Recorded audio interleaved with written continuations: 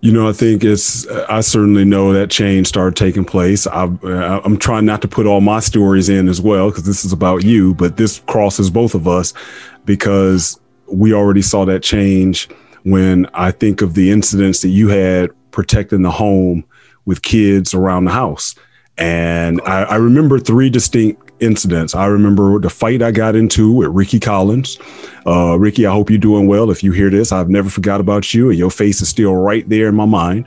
Um, but I remember the fight I got into with Ricky Collins, and you took me around the corner. And when you got home, I remember Mama was home because I, I tried to beat his head into the ground, and then he had his buddy.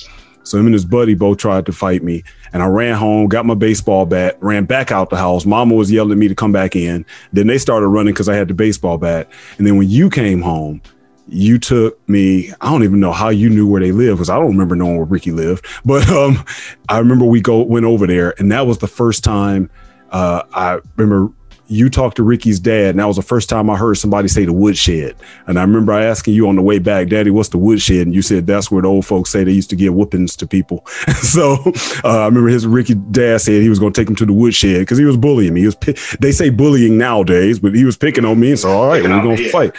And then I remember uh, I, I, remember that kid that stayed uh, was it Moochie um, that young kid. And I remember oh, you called him. Yeah. yeah. His mama came around and, and I think wanted to call the cops or something like that. But it was, yeah. you already saw that change because I don't think he had a daddy at home. So here's no. mama come and he around there messing with us, you know? so I remember him telling me that, what are you going to do to me? I'm saying, man, I would kill you. I, I, I don't know, by the grace of God, I didn't grab that boy.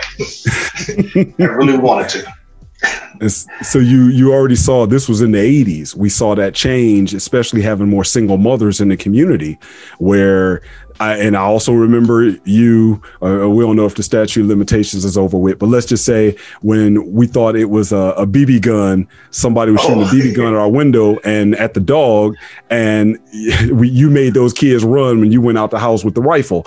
And uh, those that yeah. I think their grandfather or fathers came down, and again it was yeah, the men. Yeah. Yes, yes, it was the men that came down and had a conversation. They didn't come down with their guns, getting ready to shoot. They're gonna shoot. They were. I remember talking. I'll never forget. They said, "Look, next time my name is such and such and such and such. If you have a problem with my boys, just come get me. I'll take care of them." So problems were handled a lot different, right. but you can see that the mamas was, you know, don't be you mess with my kid, you know. right, right, and that's the way it is today too.